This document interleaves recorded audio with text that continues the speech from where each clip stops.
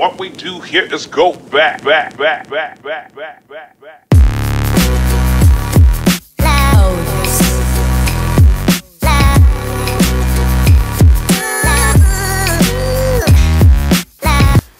Six days to go. Today is the day we load the boat on the trailer and prepare everything to transport the boat to France. Here brings my uncle René the trailer. He's a part-time truck driver and he knows how to load and to secure heavy loads. First we had to move the boat to a place where we have a lot of space for the loading.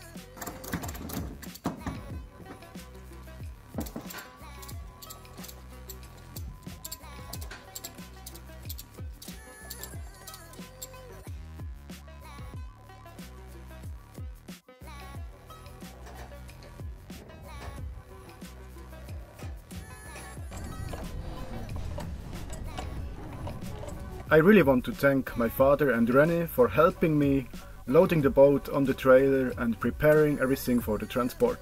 Without their help, this project wouldn't be possible.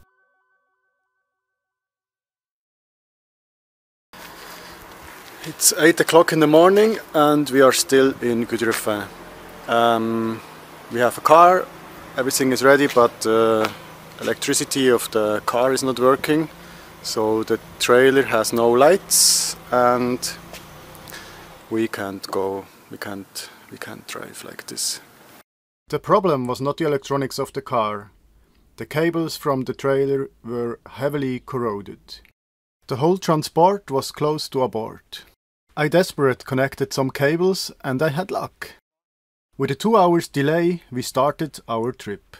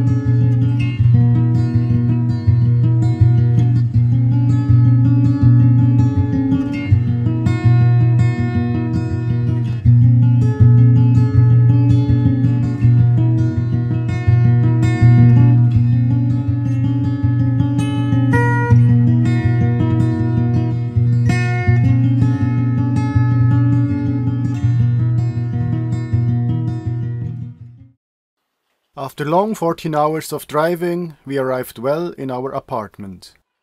There was even a pool, but at this time of the year it was reserved for the birds and not for humans.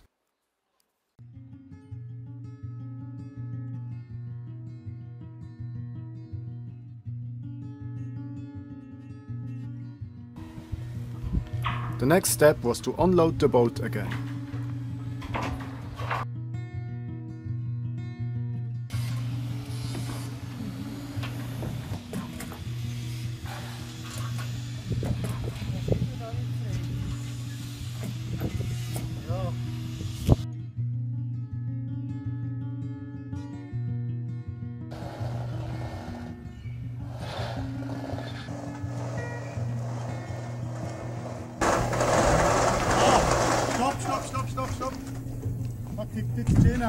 During the unloading process, the ramp was sliding away. We had to lift the trailer with a jack and we moved the ramp back in position.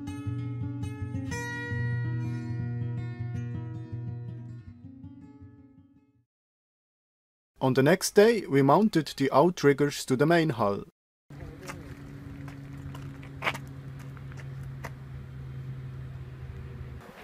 So we are ready to launch the boat.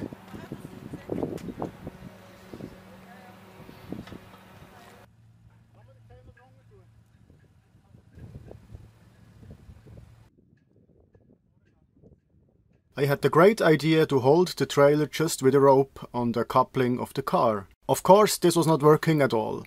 The trailer got out of control and he ran into the water. Half of the boat was floating, the other half was still on the trailer. I had to go into the water to push the boat from the trailer.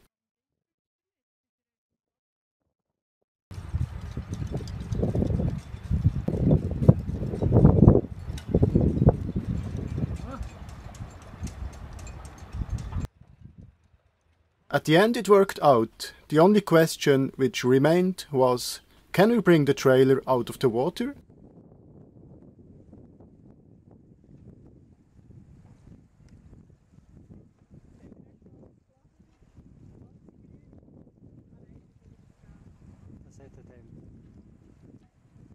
The trimaran was floating again.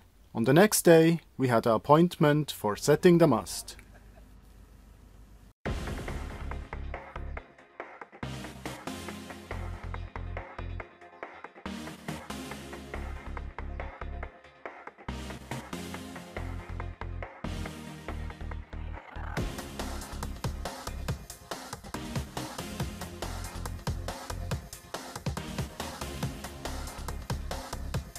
We are finally leaving Port Camargue. After five days of very hard work, we sailed the boat from Port Camargue to La Grande. A special thank to my parents for helping me with that big project.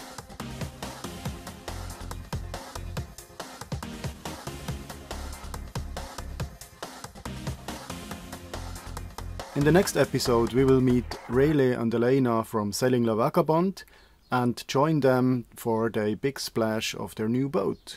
A big thank to all the people who supported me. Without you, this wouldn't be possible. And I got the first two Patreons. It's my brother and his fiancée. Thanks a lot for that.